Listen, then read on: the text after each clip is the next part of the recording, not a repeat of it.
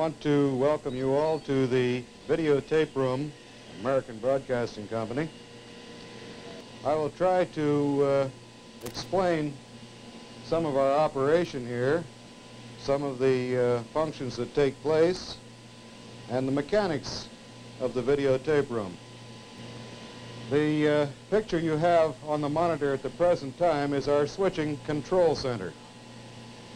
It's located physically in the tape room and used primarily to start the machines with this switcher right here. They're individually selective and can be assigned to any stage as well as being started in any group from the room itself. Number one, two, three, four, five, six, and so on down through will now start with this red button. We have the Tektronix 525 scope that's on the line to look at any individual picture that might be coming in. The waveform of the picture, that is, as well as the Conrac monitor for video check. We can select any of the feeds that are available to us. We have a feed from master control, a spare feed from master control. We have a net direct feed, a feed from Studio A, B, the E line that I'm using right at the present time, and also an air feed, and two lines set up on patch cords. One switcher feeds each machine. This top switcher is machine number one, machine number one and so on, on down. we have the identical feeds on all the buttons of these switchers, as you saw on the preview switcher. The racks here contain the distribution amplifiers for all the various functions that you have just seen on these switchers. Now we have uh, arranged our machines in a configuration of four in a group. We operate the machines in pairs. This machine I have my hand on is number one. Facing it is number two. The racks along the wall are the associated video gear for these two machines. In normal operation, we would use one and two simultaneously on the same program. That is, we would take one machine for air copy and the other machine for protection. When we record, we start both these machines at the same time by delegating the two machines we want to start onto the switcher. We start the machines. The operator then places the machines in the record mode. The machines record the entire program. now, as I've explained, we use the two machines in conjunction with each program, one for air and one for protection. Machines are started up simultaneously on playback. Now, uh, as yet, the machines do not start at exactly the same rate of speed. Therefore, there may be a difference of a quarter of a second in time between the two machines when the picture comes up to speed. Therefore, it's necessary for the operator to check the protection machine and either run it forward or back to synchronize perfectly with the machine that's on the air. That's necessary so that the operational director and the technical director in the studio that the program is being fed through may always have a duplicate picture to go to in case something should happen with the machines. And it does happen occasionally. We try to keep machine troubles to a minimum, but it's not always possible to have the machines in tip-top condition. A tube replaced this morning may go out this afternoon, as you all probably know. The uh, machines are laid out in this configuration. Number one, for convenience, and number two, this is all the space we had to put them in. We have the speakers for the individual machines mounted on the tops of the racks, facing each other. For an operator to synchronize his machines, he need only stand in the middle, turn up the audio enough on each machine so that he can hear it, and very perfectly synchronize to audio on the machines. That's the reason for the speakers facing one another. Another reason for the speakers to face this direction is to keep down ambient room noise. And it gets pretty rough at times. As a matter of convenience, we have certain tools which we install on each of the machines. One is a socket wrench used for removing the bolts which hold the head in place. Very handy to have this wrench on the machine in case you need to replace a head in a hurry. That sometimes happens. We also have certain Allen wrenches which are used in making adjustments and to remove or install certain parts of the machine. We have a cleaning solution which we use to remove the oxide, the uh, certain collection of dirt that collects on the machines. When the tape operates through the machine, oxide peels and it builds up on the audio heads. It also builds up on the video heads. Therefore, it's necessary to keep these items very clean. A buildup of oxide on the audio head or video head can cause a serious interruption of program material. Therefore, it is our policy to clean all parts of the machine, including the capstan, the heads, and the drives each time the machine is put into operation, whether it be for record or playback. These lights that you see are not used in their normal condition at the present time. They're normally turned down over the machines for operating. We need a little light in here to do this pickup, so put some big bulbs in them and point them at the ceiling. As I mentioned earlier, the racks contain the gear which runs the machines. To operate this particular machine, we have first the rack which contains the Conrac video monitor,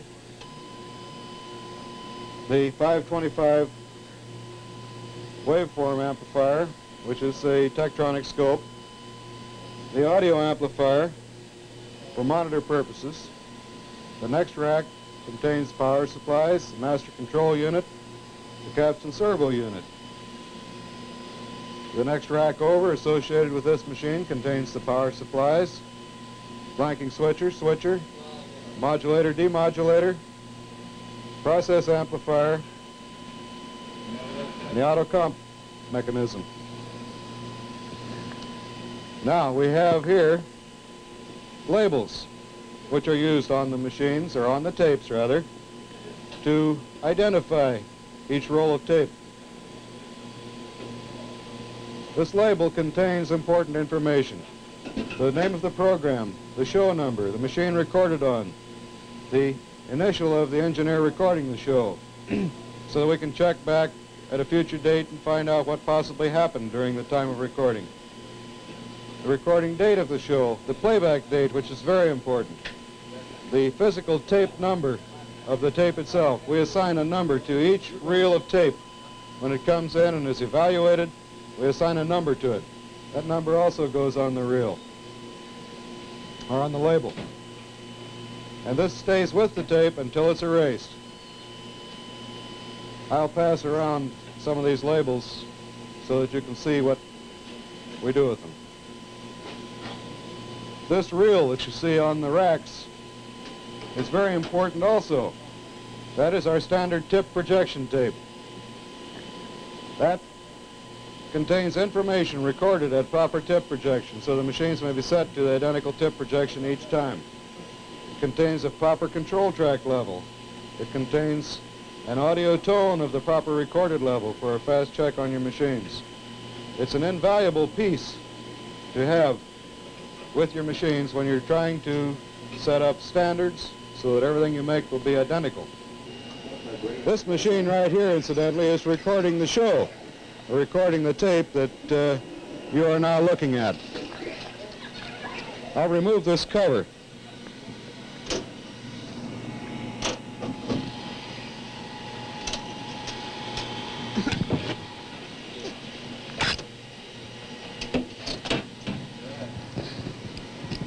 Now, I think you can see rather well the vacuum system. This is the vacuum pump right here. My hand is on. This is the vacuum cleaner, which removes surplus oxide and dust and dirt from the video head while you're recording or playing back. We have here, in this other large gray box, a blower. It's a dual centrifugal blower, and through these hoses, it forces a blast of cold air through the electronic parts of the machine so that they just don't melt. The temperature inside this console would go to a fantastic value were it not for the blower that we have built in.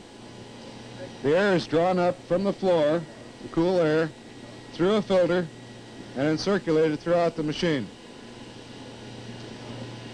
This is the switch that Dick Wilson was pointing out to you before. We've installed this switch on our machines to release the electronic or the electric brakes on the take-up and hold back. This is a great aid in editing because it allows the tape to be worked back and forth for finding cues without the strain that there would be were the brakes on. This is the driver amplifier, and these are the controls used for optimizing the individual channels on the head.